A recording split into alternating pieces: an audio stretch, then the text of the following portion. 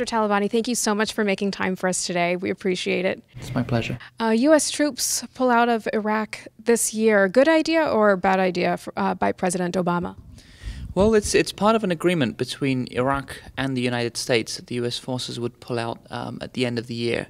Um, but we all know, I think, both on the Iraqi side and on the on the American side, that there still is a lot to do between now and then, and especially in terms of ensuring that the Iraqi security forces and the politics in the country um, will leave behind a stable country if the U.S. troops fully withdraw from Iraq.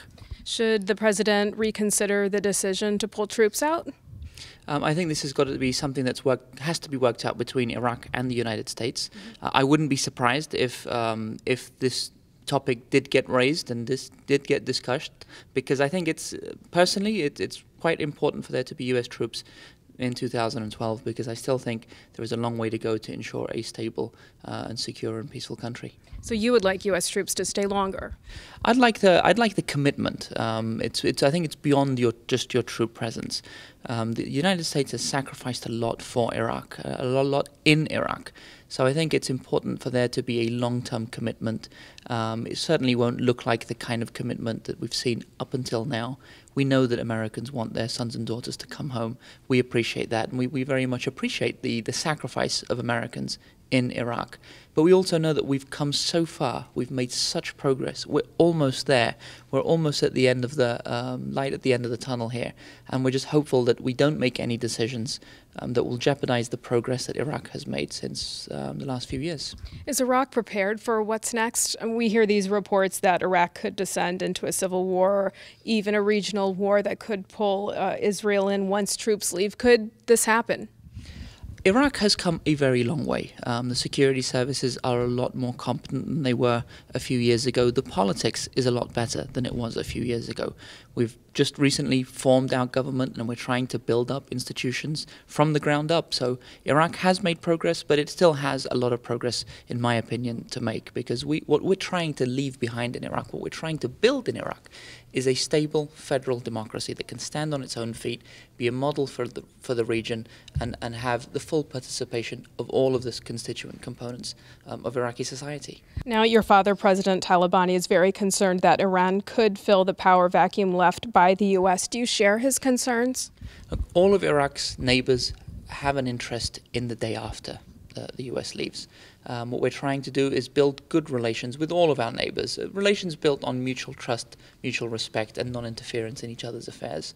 Um, so that's, I think, it's a, obviously we, we live in a tricky neighborhood, um, and there has been a lot of interference, some positive, some negative, from several of our neighbors, and we're just hopeful that people will respect Iraq's territorial integrity and, and hope to build trade relations, cultural relations, and political relations with Iraq. So, what are the best case and worst case scenarios that we're looking at once troops leave? I think what would be a tragedy is if the security situation were to uh, degenerate after your troops pull out, mm-hmm. and whether it's regional interference, whether it's a re-emergence of Al Qaeda and others um, try to destabilize the country again, that would be a, obviously a, a, terrible scenario. But we're, we're, we're, we're being optimistic, we're being realistic. Uh, How involved do you think is Iran in Iraq's politics? Iran is a powerful neighbor to Iraq. It is a big uh, neighbor and has a very big border with Iraq. So undoubtedly, it is going to have interests in Iraq. Now, some of those interests will be benign, will be will be the kind of interests that normal neighbors have with each other, whether it's uh, trade relations, cultural relations, political relations. But in the past, um, the, Iran has also had a negative impact on the security of Iraq, as have other neighbors uh, in in Iraq. So what we're hopeful for is there is a there is a good climate right now um, and, and we're seeing much less interference from, from the neighborhood. Um, the politics is trying to work itself out, and we are hopeful that the politics will eventually work itself out and, and we can start to implement a system of federalism and build on good governance. Now, we've seen a wave of protests sweeping across North Africa and uh, the Middle East. How do you see this playing out? I think the um, there's obviously this uh, sense of unrest um, throughout the region because mm, unfortunately many of the the governments in, in that part of the world have been dictatorships. There hasn't been a, a climate of democracy, a climate of, of free speech or of plural participation. Thankfully, Iraq um, is ahead of the game on that front. Iraq has an elected government. Its parliament is an elected body without one side completely dominating the process. So we're seeing, even in Iraq, where there have been demonstrations, the demonstrations have been geared towards asking for better services and improved level of governance, not necessarily like in other countries where they've tried to actually bring the system down. Do you think that what's happened in Iraq has influenced um, some of these protests in these other countries?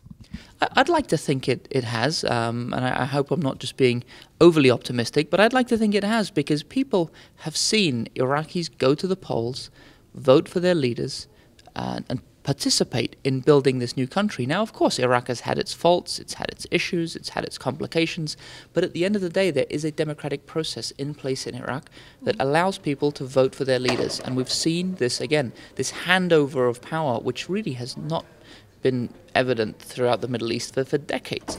But we've seen it in Iraq. prime ministers have come and gone. They've won elections. They've lost elections. Presidents, uh, the same. So I, I think that there, this climate is is is positive for Iraq. Um, and, it, and it has sent, I think, a powerful message that it can happen in the Middle East, that democracy is not a concept that is purely a Western concept, that it can be applied in the Middle East. It's been happening in Kurdistan since the, since the mid 90s, um, but now thankfully it's happening uh, in the rest of the country. Are you concerned at all about the rise of the Muslim Brotherhood and radical Islam in the region? Uh, we're concerned by all forms of extremism, um, and I think that that is something that, that we have to watch very carefully, and we have to ensure that, that, that, that it's not just a matter of uh, adhering to the to the will of the majority, but it's also democracy. A key principle of democracy is preserving the rights of the minority, and, and I think regardless of who the majority and minority is, we need a system in place that doesn't allow one side, one group, or one ideology to dominate the other. So, what is your take then on the U.S.'s involvement in Libya? Should was President Obama right to get the U.S. involved there? I think whenever there is a case of a government oppressing its people, um, powers, uh, responsible powers, must intervene. Now, uh, it's again, I, I haven't been uh, scrutinizing the situation. I, I, know there's conflict in Libya. I know that the government forces have been clashing with rebels and, and so forth. But I'm, I'm going to go back to 91 when the Iraqi regime was putting down a Kurdish uprising, mm. and the international community sat there and watched it happen. It was only when there was sheer devastation in Kurdistan and millions of refugees fled to the mountains of Iran and Turkey did the international community get into gear, acted on their on their morals, and ultimately put in place a no-fly zone believe it or not, um, that secured the Kurdistan region, allowed us to come back down from the mountains. We had our first democratic elections in 92, and we've been building the foundations of democracy ever since. And that here is an example of uh, an intervention um, that di directly or indirectly created a situation 20 years later where there is Middle East's most thriving, progressive, secular, and relatively democratic society. Is President Obama doing enough to support democracy in the region? I think you could always do more to support, to support democracy, um, but democracy is not something that could be implanted. It's not something that could be bought. It's not something that, that you can just put in place or impose on, on, on people. People have to want it. People have to want to, to, to wish for it, and people have to actually have to learn it. Your democracy is 200 plus years old, and it's still evolving. Uh, democracy is something that's alive, um, and I think when you look at Iraq, you're seeing this. You're seeing it's it's the, the, the early stages of Iraq's democratic progression. In Kurdistan, the same, um, and I think we'll, we'll, see this. We'll see the region. Um, playing with this concept of, of, democracy, and will have they'll have difficulties as they try to implement it because, as, as Winston Churchill said, it's it's uh, it's messy. Mr. Talabani, thank you so much for your time, and please give our best to your father. Thank you. It'd be my pleasure too.